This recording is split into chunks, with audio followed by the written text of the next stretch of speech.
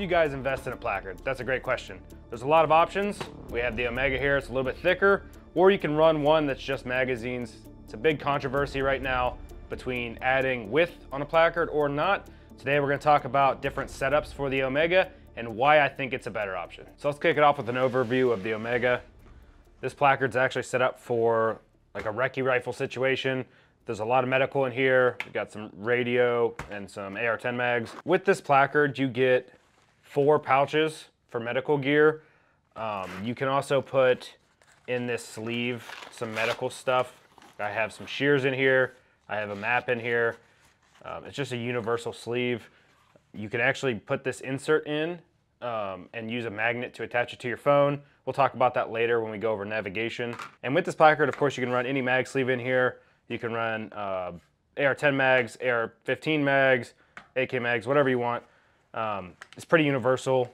With this, you can also lock the tab back if you only wanted access to the front pouch. And with the medical gear, we went with the essentials. We have some gauze here, a rescue blanket, decompression needle, uh, Sharpie in case you need to write on somebody. And then we have two chest seals, super important. And we have some more gauze or emergency dressing and of course some trach stuff. And then as I showed you guys in here, we also have the shears. And you guys can surprisingly fit a lot of medical gear in here. It shrinks up pretty small. As you can see, it's only about an inch, inch and a half thick. Um, so it's not gonna have a lot of mass hanging off your chest if you wanted to go prone or lay down. It's a pretty nice setup and it pulls the medical kit off your belt on your back and puts it in front of you. It's a little bit easier to reach if you had to work on somebody. Since you're not running a plate carrier, if you're running this H harness, it's, it's nice to be really streamlined without a belt. You just have one piece of kit and this kind of does everything. Hold your mags, hold your comms, hold your medical, and this is a super small setup. Also with the HRT H harness, we offer on our website this air pad backer. Um, it makes it really comfortable to wear this and you're not going to tear up any shirts you have with the Velcro on the back. This is a pretty nice setup for like a truck setup or a recce setup. It's just uh, perfect for most use cases. So we wanted to show you guys what this looks like on a plate carrier setup. If I turn to the side, you can see, I can see my cell phone looking at ATAK right now. I can use maps or a GPS pretty easily. Um, if you wanted to flip this up and get to medical gear, it's super easy. Um, if you wanted to put a pad and paper here to write down stuff, also again, really easily. Um, it's nice that it only folds to about a 45 degree angle. Um, so everything is right here, up in your face. You can see it.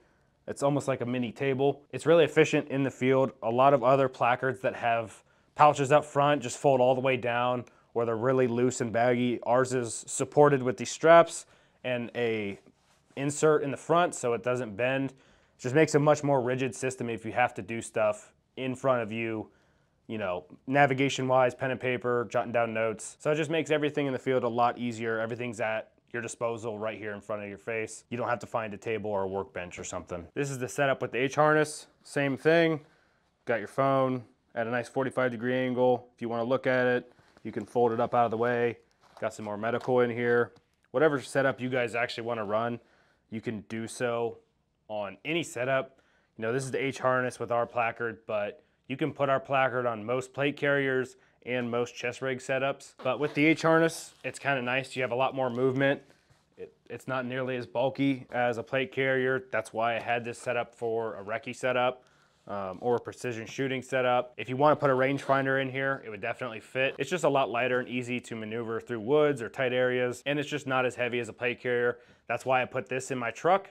Um, I can use it for almost any setup. It's just ideal for almost anything. So getting into navigation, right here you can see have, we have my cell phone and we have the insert that you can attach our magnet to. We ship with both the magnet and the steel plate. Um, both have 3M tape on the back side. You just peel the tape, stick it to your phone or a GPS or whatever else you want to attach to this for navigation. And same goes for this metal magnet. Just peel it off, stick it to this. I'll show you guys how to insert it in the Omega and then do a little demonstration on the navigation for ATAK in the Omega. So to install the insert, you just flip this tab open and slide it in this sleeve here. And then reseal it, pretty simple. I'm actually gonna throw my map in here. You can still utilize this pouch even though the tab is in there. It opens up pretty big. With there being a magnet in here and a steel plate on your phone or GPS, you can just set the device on there. With it being at this angle, gives you a great view of any mapping software to use such as ATAK or Google Maps for navigation or even the GPS. For this navigation setup, it's really simple. We just have my phone in there.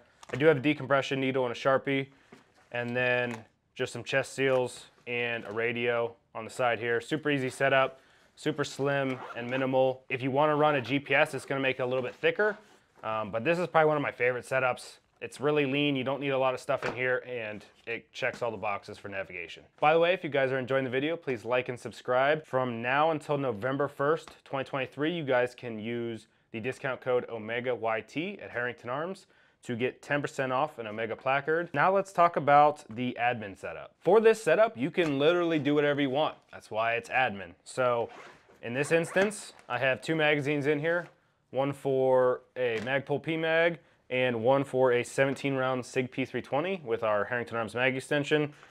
Um, in here, we just have a decompression needle and I still have the navigation set up you know, in case I want to throw my phone on here. It's kind of nice being a general use case. There's no reason to take it out. You might as well leave it in. You can still use the pocket. So you can just leave it more generalized. If you want more space, you can pull these mags out and throw in some candy, you know, throw in a tourniquet, whatever you want to be in here, you can put in here. Super general, super easy. If you want a little bit of medical, you know, you can make this how you want it. And if it's a mixture of all three use cases, so be it. It's, it's yours. You can do whatever you want with it. That's what's so nice about the Omega is it's adjustable per mission, if you will. You know, if you're just to throw this in your truck and it's to be, in the case of an active shooter, throw some medical in there. You don't need navigation. But if it's a recce setup, you know, just a little bit of medical and a lot more navigation, more maps, more ammo, whatever you want. We wanted this to be universal in any capacity you know, set it up how you guys want it. Feel free to tag us in anything. If you guys think this is worth the added thickness to a plate carrier or an H harness, comment down below. We want to hear what you guys think. Do you prefer a placard with just magazines or do you want the added abilities of, you know, navigation, admin, medical, moving all this stuff up front so you have easy access to it in the field, wherever you guys actually use this kit. One of the primary uses of the Omega is storing magazines. So let's head to the range and put it to work. Now we're gonna shoot some drills. We're gonna kick it off with a 222 reload, 222. Uh, we're gonna do the reload from the Omega placard.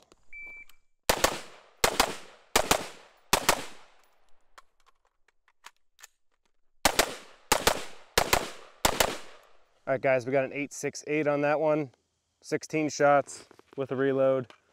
First target, let's see what we got. Two A zone, two C zone, I'm probably guessing these were coming back. I was sweeping across the target. And then target two, two A zone, or I'm sorry, all four A zone. Target three, we got an A zone, two C zone, and a D. The D kind of sucks. Last target, three, well, one A zone, two riding the line of A and C, and then another one off and left of C. Not bad. Uh, we're pretty close, so it probably should be a little tighter, but is what it is.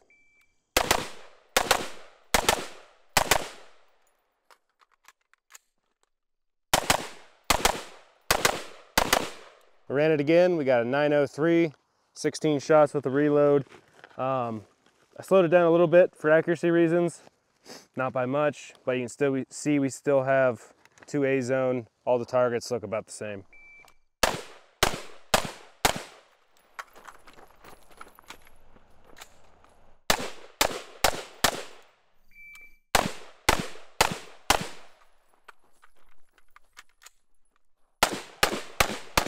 So in this drill, we got a 687. We ran it a couple of times. Um, we're seeing around seven seconds for every run. We got an A zone, a couple C zone. This target, we got a couple more A zone, two C zone. Um, all in all, not bad. Pretty good timing. I don't practice reloads enough from a placard. I do a lot of belt stuff.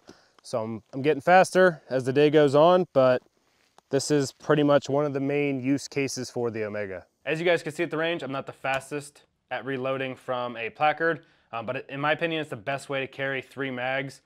You're not adding a bunch of weight to your waist uh, with a belt set up. It's just right there in front of you. It's just a little bit slower for me, but with practice, anyone can be super fast at it. If you enjoyed this video, please like and subscribe. We'll see you next time.